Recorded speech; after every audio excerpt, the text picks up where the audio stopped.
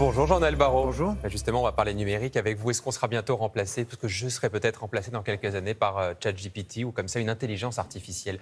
C'est pas de la science-fiction. Vous ne serez pas remplacé parce qu'il y a une différence majeure entre l'intelligence humaine et l'intelligence artificielle. C'est que l'intelligence humaine, elle est doublée d'une volonté. Il n'y a pas de volonté euh, euh, artificielle. Et donc là où l'intelligence artificielle pourra nous aider, pourra compléter le travail que nous faisons, elle ne pourra pas nous remplacer. Mais dans le sujet qu'on vient de, euh, de voir, il y a évidemment une question qui se pose. C'est la juste rétribution des auteurs, de créateurs de contenus originaux qu'il va falloir régler pour que l'intelligence artificielle soit soutenable et pour pouvoir continuer à soutenir la création. Alors, vous présentez tout à l'heure en Conseil des ministres un projet de loi pour, je cite, sécuriser et protéger l'espace numérique. Vous souhaitez, par exemple, mettre en place un filtre anti-arnaque. Euh, toutes les semaines, c'est vrai, comme des millions de Français, moi, je, reçois effectivement plusieurs SMS, euh, par exemple, de l'assurance maladie, soi-disant l'assurance maladie, qui me demande effectivement de renouveler ma carte vitale, avec à la fin, effectivement, la carte bleue qui est demandée. Est-ce qu'on peut vraiment mettre fin à ce fléau avec un simple filtre? Oui, l'insécurité, euh, elle progresse de jour en jour euh, elle sape la confiance de nos concitoyens dans le numérique. Tous les Français sont concernés. Nous avons tous reçu les SMS que vous évoquez. Nous avons tous hésité à cliquer.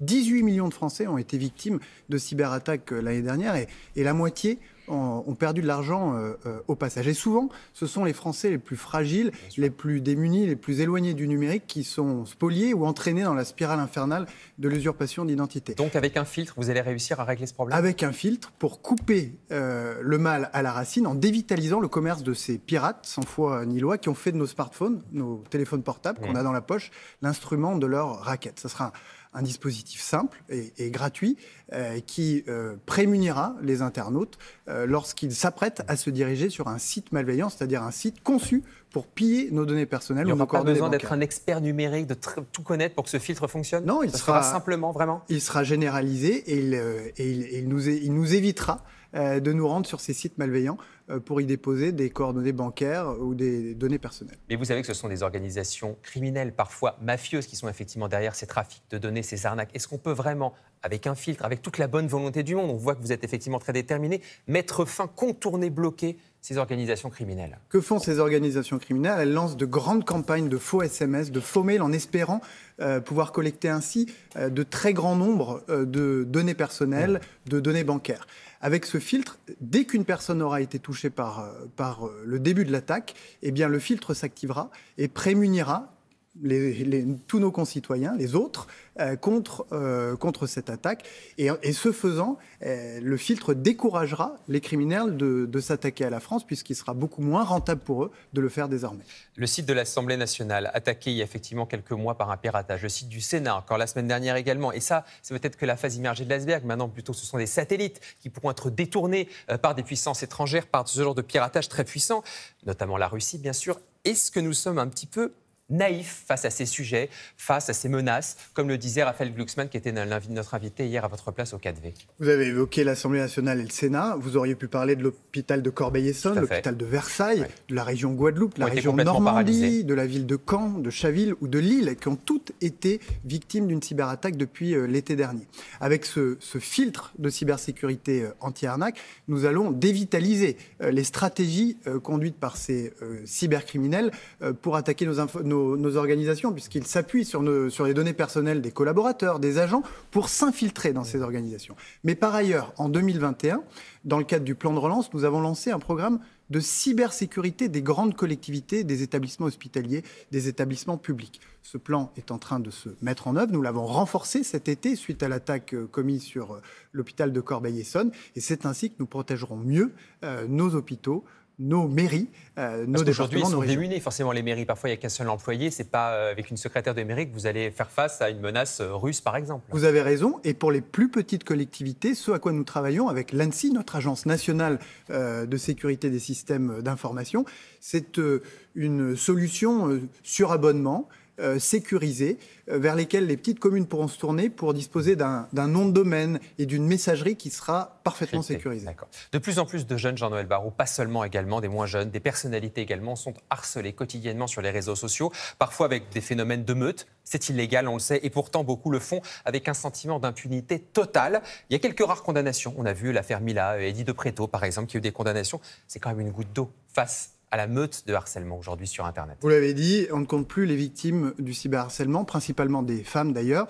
Ce sont des, violences qui se déplacent d'un réseau social à l'autre et qui vont même jusqu'à se déplacer dans l'espace physique avec des, agressions euh, tragiques. Les responsables, ce sont des internautes, une minorité d'entre eux qui se comportent comme des chefs de meute, hein, qui embrasent leur communauté, qui déclenchent des raids ciblés euh, sur des personnalités, comme je le disais, bien souvent euh, des femmes. Qu'est-ce qu'on fait donc? Eh bien, ce qu'on fait, c'est, dans le projet de loi que je présenterai ce, euh, ce matin, euh, une, une, peine complémentaire de bannissement euh, des réseaux sociaux à l'encontre de ces chefs de meute qui pourraient être prononcés par le juge lorsqu'une personne est condamnée pour cyberharcèlement, comme ça a été le cas dans l'affaire Mila ou dans l'affaire Eddie Despréto. Donc, en théorie, ils ne peuvent plus revenir sur les réseaux sociaux. Pendant six mois et, et pendant un an en cas de récidive, c'est une mesure qui les frappera, ces chefs de meute, là où ça fait mal, en, en les privant de leur caisse de résonance et en confisquant leur notoriété. Ils ne pourront pas recréer un autre compte en cinq minutes en changeant d'identifiant Non, ça sera interdit et les plateformes devront mettre en œuvre les moyens pour éviter la réinscription de ces comptes. Les influenceurs, c'est vrai que c'est des actions là, qui paraissent un peu louables, mais ces influenceurs, Parfois, ils font effectivement des choses répréhensibles, des arnaques. Euh, peut-être plus grave, on l'a vu effectivement avec une affaire dont on a parlé beaucoup la semaine dernière. Et face à ça, il y en a certains qui se font un peu justice eux-mêmes. Je vous parlais d'un rappeur que vous connaissez peut-être, Booba.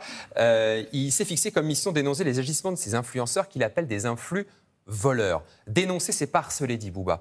Et pourtant, euh, là aussi, on lâche les meutes. On lâche la meute forcément quand on, comme ça, pointe du doigt les agissements de quelqu'un. Puisque vous parlez des influenceurs, plutôt que de vous répondre euh, sur Bouba directement, simplement dire que le Sénat a adopté une, proposition de loi qui vient traiter euh, les problèmes qui sont liés à 1% des influenceurs. Dans 99% des cas, il n'y a pas de problème. Et Ceux qui vantent en gros des arnaques. Ceux des, qui... produits malveillants. Exactement. Ceux qui vendent, euh, d'ailleurs volontairement ou involontairement, ceux qui sont les instruments des arnaques. Mais dans 99% des cas, les influenceurs, c'est une activité nouvelle qui apporte euh, un certain nombre de bénéfices euh, aux Français. Donc il faut encadrer tout ça. Il faut encadrer, il faut donner un statut, il faut protéger les influenceurs euh, qui, qui, sont euh, de, sur le droit chemin, sanctionner ceux euh, qui s'en écartent et puis faire en sorte que les Français puissent avoir confiance dans les influenceurs. On peut se faire justice soi-même? Je veux dire, quand effectivement on voit des agissements qui ne sont pas conformes, comme le fait Bouba, mais comme d'autres, est-ce qu'on peut comme ça se dire non, ce comportement il n'est pas normal parce que forcément la justice va trop lentement à côté? Il ne faut jamais se faire justice soi-même. C'est la raison pour laquelle on pose des cadres de façon à ce que chacun puisse se comporter en responsabilité. Euh, il y a les influenceurs, effectivement, qui sont très suivis, qui vantent euh, des produits. Il y a aussi d'autres euh, comportements et d'autres sites qui ont des, comportements là qui ne sont en dehors du cadre. Je parlais des sites pornographiques accessibles aux mineurs en quelques clics. Tout le monde le sait, tout le monde le constate. Il y a déjà une loi qui est en vigueur. N'importe qui, malheureusement, peut aujourd'hui avoir accès à des contenus interdits au moins de 18 ans, parfois violents, en quelques clics. Les sites ne vérifient pas l'âge des utilisateurs. On continue comme ça? Vous avez raison, et les enfants sont les grandes victimes de ces désordres qu'on rencontre euh, dans la société euh, numérique. C'est 2 millions d'enfants qui sont exposés chaque mois à des contenus pornographiques parce que, vous l'avez dit, les sites ne vérifient pas l'âge de leurs utilisateurs alors qu'ils y sont tenus par la loi. Il y a une procédure judiciaire en cours qui implique cinq des principaux sites. Le verdict sera rendu en juillet et j'espère qu'il sera exemplaire. Mais pour l'avenir, je propose que nous puissions taper plus fort, plus vite, en donnant à l'ARCOM, l'autorité de régulation euh, de l'audiovisuel et de l'Internet, le pouvoir de bloquer et de déréférencer sur les moteurs de recherche les sites pornographiques qui ne vérifieront pas l'âge de leurs utilisateurs. Avant une condamnation de justice, c'est l'ARCOM qui pourra bloquer Sans passer par une condamnation de justice, de manière à ce que le blocage puisse intervenir en quelques semaines seulement. Donc s'il y a un signalement d'un site qui ne vérifie pas l'âge des utilisateurs, l'ARCOM peut le bloquer L'ARCOM mettra en demeure pendant 15 jours le site concerné et s'il ne s'est pas mis en conformité avec la loi, alors il sera bloqué. Et le juge interviendra a posteriori? Le juge interviendra si le site euh, fait appel pour, euh, euh, pour obtenir réparation. Il y a des voies de recours qui sont prévues, mais c'est bien l'ARCOM qui, en quelques semaines, pourra ordonner le blocage du site. Une question pour finir, Jean-Noël Barrou. Il paraît que le job de ministre ne fait plus rêver. Vous aurez 40 ans dans quelques jours. Bon anniversaire d'avance. Est-ce que vous vous voyez à votre poste encore comme ça jusqu'à votre retraite et peut-être jusqu'à la fin de votre carrière, comme c'était le cas par exemple pour, pour votre père ou encore votre grand-père Écoutez, euh, je présente ce matin un projet de loi. vous êtes dans l'action, là, oui. Euh, que, euh, que nous allons enrichir et renforcer au Parlement. et vous vous voyez en politique toute votre vie ou pas? Vous savez, c'est une question l'engagement. J'ai eu une vie avant la politique. J'ai été enseignant et, chercheur. j'y ai tiré beaucoup de plaisir et ce que j'y ai appris je l'ai emmené avec moi dans mon engagement politique. Ensuite, mon engagement politique ne va jamais me quitter. On ne se défait pas de ces valeurs, de ces idéaux.